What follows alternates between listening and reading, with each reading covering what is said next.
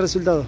Nada, eh, hay que ver, verle la parte positiva, tres puntos, eh, seguimos la lucha y bueno, quedan cuatro fechas. ¿Era para cerrarlo el partido antes y no sufrir hasta el final? Sí, sí, era para cerrarlo antes.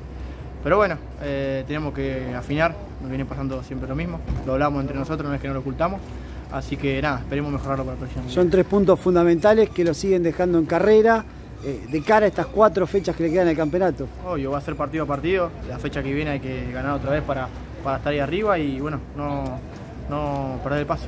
El invicto es increíble, 18 fechas pocas veces se da y no están punteros. Ah, eso es algo aparte, pero bueno, nada, lo hablamos ahí, comentaba ahí con alguien, eh, es una cosa de loco, 18 partidos, nunca me tocó estar a ese invicto, así que lo disfrutamos, pero también lo tomamos con la seriedad que queremos del, del campeonato. ¿Linier va a perder algún punto? Esperemos que sí, No va a pasar lo mismo que Puerto Nuevo, ¿no? esperemos que no. Sería para matarse. No, sería, sería algo inédito. Bueno, y ahora Lugano en Ensenada. Y ahora viene Lugano, Lugano fuerte, donde, donde él hizo partido a Puerto el otro día, así que bueno, seguiremos con la misma seriedad, con nuestro juego y poder tratar de conquistar todas las chances que tengamos. Gracias.